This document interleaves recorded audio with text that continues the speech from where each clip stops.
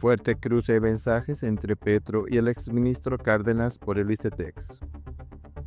Sigue siendo responsabilidad del Mineducación.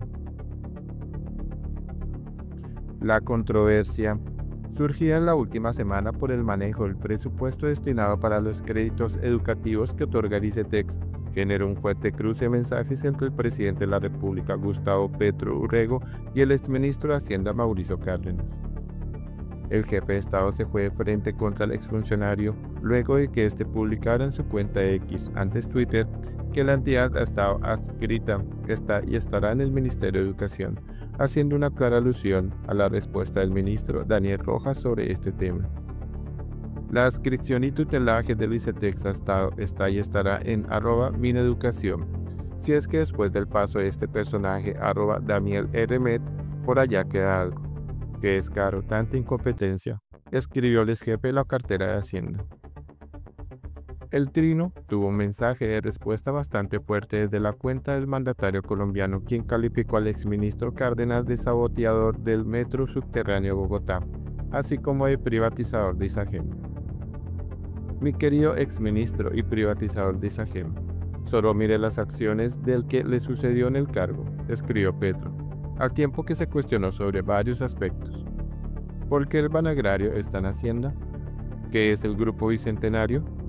¿Para qué se creó y por qué instituciones como el Fondo Nacional del Ahorro o la PIU Previsora, Confomac incluidos, se ascribieron a Minhacienda? ¿Por qué ascribieron ICETEX a Minhacienda? A sus preguntas respondió, por neoliberalismo, mi estimado saboteador del metro subterráneo de Bogotá, Duque Carrasquilla, querían privatizar lo que quedaba después de Isagen y tratar la política de educación superior como un sistema de subsidios para la universidad privada y un sistema financiero para endeudar los estudiantes. Además, complementó su mensaje asegurando que el neoliberalismo no sirve. Llevó a la policrisis a la humanidad. Nosotros no endeudamos estudiantes. El erario es para fortalecer la universidad pública, hacerla gratuita y de calidad. El mensaje del jefe de Estado tuvo eco en el exministro Cárdenas, quien publicó un nuevo trino reiterando que el ICETEC sigue siendo responsabilidad del Ministerio de Educación y anexó una imagen en la que se explica sobre las entidades adscritas al grupo bicentenario que mencionó Pedro. Parágrafo 1. Las entidades pertenecientes al Grupo Bicentenario mantendrán en su gobierno corporativo la representación de los sectores a los cuales están adscritas o vinculadas y, en el marco de las orientaciones de estos, seguirá desarrollando las políticas públicas sectoriales. Se lee.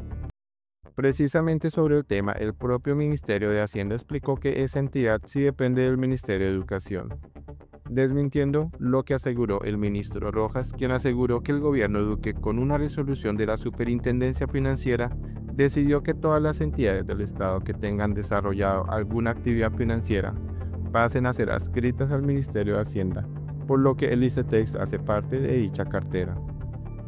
Sin embargo, este aseguró que aunque ICETEX recibe recursos del presupuesto general de la Nación, depende del Ministerio de Educación los giros que se hagan en esa entidad. Educación pide PAC al Ministerio de Hacienda, Crédito Público la asigna PAC y el Ministerio de Educación es el que lo distribuye, indicó.